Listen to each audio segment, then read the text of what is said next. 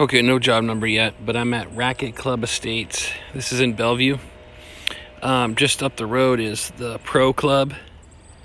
And uh, so just south of it on 148th Avenue Northeast. You drive in on Northeast 45th Street and you head all the way to the back of the property where 4416 and 4415 145th Avenue Northeast is located. Okay. So as you drive to the very back and you take a left, there's two areas where there's catch basins that need to be fixed. So there's the G building, 4416. As you come around the corner on Northeast 45th Street, come around the corner, you see a catch basin right there. But then you also see another catch basin that they put in at this location. Um, and they probably didn't need to do that. They should have just taken out the asphalt in this area and then redid the uh, the slope going towards there. But since they've already got a catch basin here already, um, it's a small little one foot by one foot. Uh, you can see I'm standing over it and I got a 12 inch shoe, so we're looking at a one foot by one foot catch basin that's kind of sunk down into the asphalt a little bit. I don't think the boxes are very deep, but at 4416, right in front of the number three and four units, um, you've got this catch basin here that uh, we need to cut out. So I'm going to say, and we'll probably have to take the whole box and raise it up. So I'm going to say we do like um, a nine by nine patch here where we remove the three inches of asphalt. Looks like it's probably about two and a half inches, but let's assume three. Okay, so we'll do a nine by nine. And then we'll lift up that catch basin just a little bit because it has sunk down quite a bit.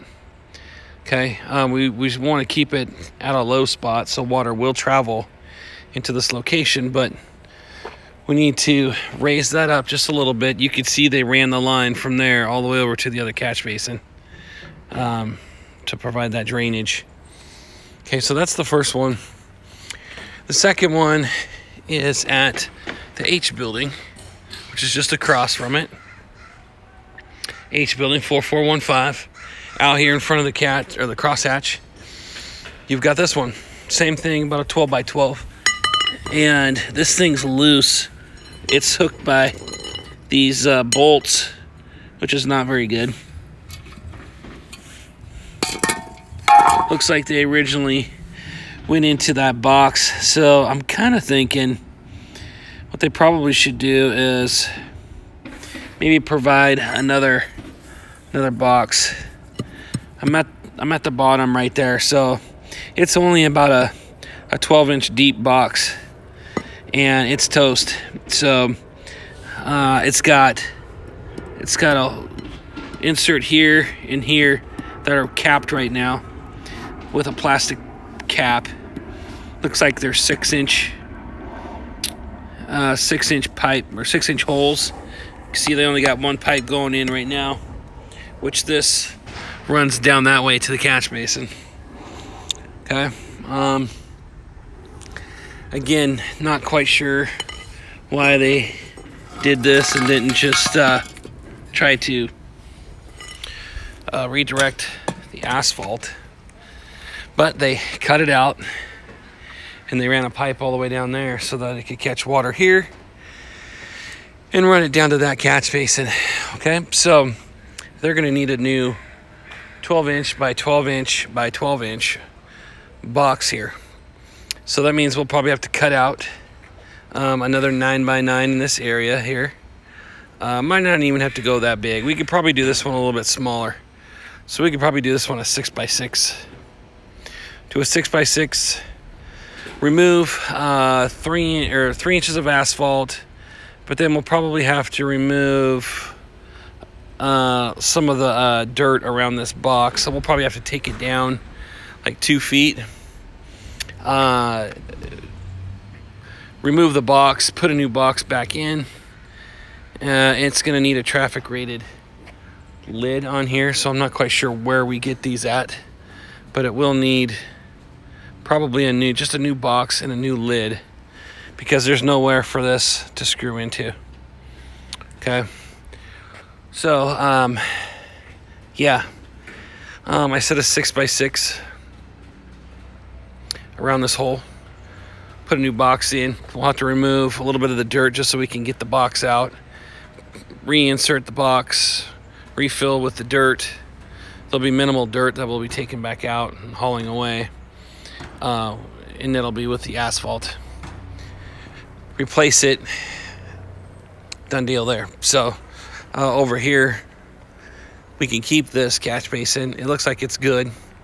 It's uh, it doesn't have those weird screws that you try to put in.